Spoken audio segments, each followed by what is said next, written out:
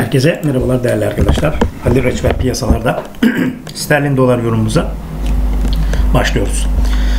Evet, e, gelinen noktalar aslında geçen hafta özellikle e, 1.26'lar test edildikten sonra gelen e, ortalamalara yakın gelen e, satışın biraz e, hala hazırda daha doğrusu kar satışının biraz daha hala hazırda etkisini devam ettirdiğini görüyoruz ama bugün e, bu anlamda çok önemli ortalamalara dokunduğunu görüyorsunuz. Buralarda tutulması ihtimali e, daha önce de bahsetmiş olduğumuz gibi iki gün önce de bahsetmiş olduğumuz gibi burası çok önemli. Bu bölgede tutunup e, ikinci harekete yani birinci hareket düzeltme ikinci harekete başlaması noktasında önemli günler. Yarın bu anlamda bizim için çok daha önemli çünkü e, yarın şu ortalamanın üzerinde yani 1.24.80'in üzerinde bir hareket görecek olursak büyük ihtimalle şu mavi hareketli ortalamaya doğru giden bir hareket görebiliriz.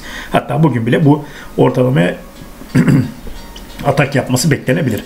Kapanış dün 1.24.12 olduğunu buradan hemen girelim isterseniz 1.24 10 olarak girdik. Haftalıklarda e, zaten 1.24'ün altına e, hiç gelmedi ve hala hazırda e, alıcılı bölge e, alıcılı bölge daha doğrusu pivot bölgede olduğunu söyleyebiliriz.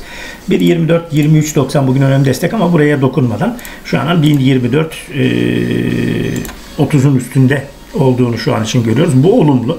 Yukarıda ilk adımda 1.24 e, 70 gibi e, 70-80 gibi bir potansiyel hedef olduğunu söyleyebiliriz. İlerleyen saatler içinde. E, tabii hemen isterseniz buradan Şöyle 4 saatlik grafiğe bakalım. 4 saatlik grafik önemli destek ve e, şu an için tutunma isteği devam ediyor. Olumlu olarak yorumlayabiliriz. Hemen buradan e, saatlik grafiğe baktığımızda evet bu saatlik grafikteki görüntü de olumlu. Şu an için ters bir durum yok. 30 dakikalık grafiğe baktığımızda evet 30 dakikalık grafikte önümüzdeki en azından bir saat bu bölge önemli. E, 1.24.40 e, seviyesi önemli destek olarak karşımıza çıkıyor. Pardon 1.24.30 e, seviyesi önemli destek olarak karşımıza çıkıyor. Bu seviye üzerinde büyük ihtimalle kalmak isteyecektir. Kalması demek en azından şu an 10.5 11'den sonra 11.5'tan sonra 11.5'tan sonra belki yukarı hareket söz konusu olur ama e, saati beklemeden 11.5 olmadan hareketin yukarı başlaması için hemen biz ne yapalım? 5 dakikalık grafiğimize dönelim.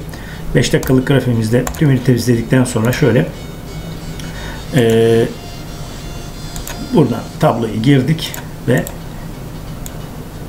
grafiğimiz üzerinden evet tabloda destek direnç tablosunu e, alarak baktığımızda hemen bir saniye şöyle bir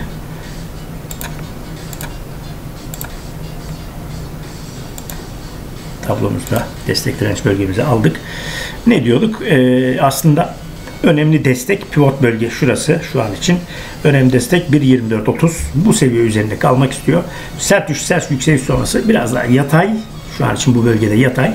1.24.30 bölgesinde yatay. Sonrasında bir yukarı hareket rally için ee, 1.24.50'yi geçmesi bizim için önemli olacak arkadaşlar. 1.24.50 ve hareketin Tamam buradan artık e, tekrar 1.25, 1.26'nın üzerine başlıyor dememiz içinse 1.24.60'ı geçmesi önemli.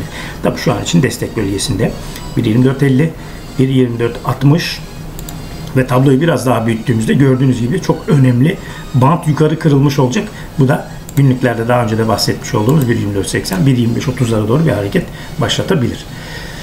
E, sterlin TL açısından eğer bir e, yorum yapacak olursak hemen şöyle tablomuzu açalım, bir grafik açalım. Şu tabloyu şöyle biraz daha net bir görüş açısı yakalamak adına. Gördüğünüz gibi daha önce de bahsetmiş olduğumuz o direnç şu an için çalışıyor. Bu bölgede biraz daha sıkışacak gibi. Bandın dönmesi önemli ama e, eğer sterlin dolarda hareket yukarı istek atacak olursa ki altabilir böyle bir durumda büyük ihtimalle biraz daha rahatlayan yukarı e, hareketi hızlandıran bir tablo görebiliriz ilk etapta. E, 4.61'in üzerine geçmesi çok çok önemli. E, yeni bir hareketi de başlatmış olacak. Hemen buradan Euro TL'ye bakalım. Euro dolardaki harekete istinaden biraz daha yatay ama e, yine önümüzdeki günlerde büyük ihtimalle daha doğrusu önümüzdeki e, 24 saat içinde e, 3.90 üzerinde kalmayı başarırsa ki kaşa, e, başarabilir gibi gözüküyor. Dolayısıyla burada sıkışan band büyük ihtimalle yukarıda. E, ilk etapta 3.94-70'i geçmek isteyebilir. Böyle bir harekette 3.90 7 dörtleri tekrar konuşuyor olacağız gibi gözüküyor.